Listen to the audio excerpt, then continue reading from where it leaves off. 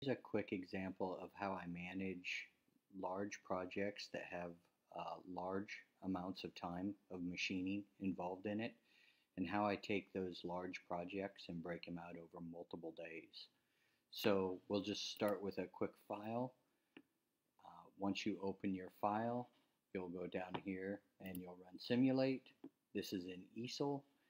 I'll see that it takes 5 hours and 11 minutes. If this time it took to cut this board out was 20 plus hours, you couldn't possibly do that in a day. It's not safe enough to leave your computer plugged into the unit on pause all night. A lot of things could happen.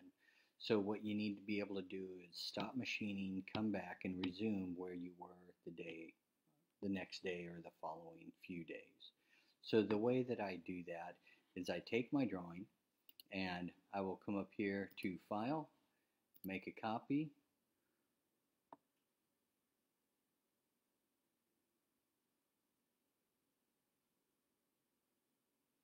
I check both sides to make sure that they're even. I check the simulate on this one to make sure the paths and everything are the exact same.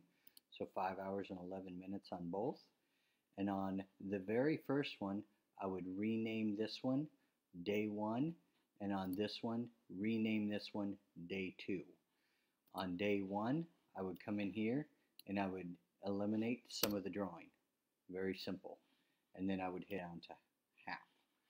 on day two, I would go in and I would cut out the other side that I did in day one. Five hours and 11 minutes, and I broke it down into two two hour sessions roughly, and I'll be able to manage those over multiple days. The nice thing is, is if you do not, if you leave your home position that you set in your first day session, if you leave your home position in that, that spot, when you start on day two, it will cut in the exact same area on the board that you had it originally planned on. That's it. Thanks. Bye.